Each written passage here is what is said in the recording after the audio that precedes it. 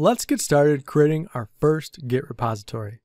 In a terminal, create a new directory to store your repository and navigate to it.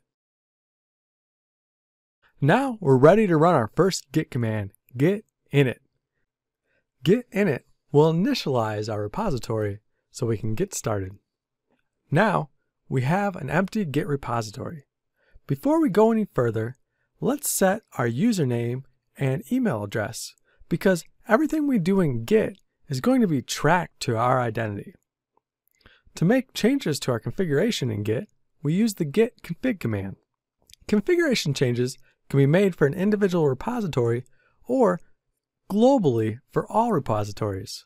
Because we want to use the same email address and username across our repositories, we'll set these to global.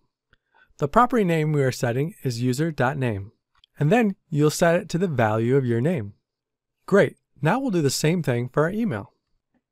We can view the value of all of our Git configurations, local or global, by using the git config list command.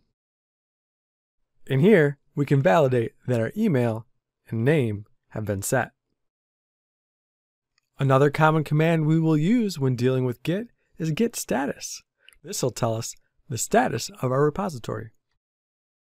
This tells us that we're on the master branch which is the main branch, and we haven't yet made any commits. It also tells us that no changes have been made to any of the files in the directory that have not yet been committed.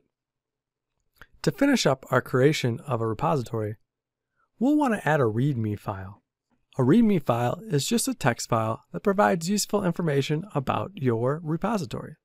I'll call our README file readme.md. By default, Git won't version control every file on a directory, so we have to add it first to let Git know to keep track of it. And finally, we'll run the git commit command to lock in our changes. The git commit command requires a message describing what was done in this last set of changes. So the command becomes git commit dash m followed by your message.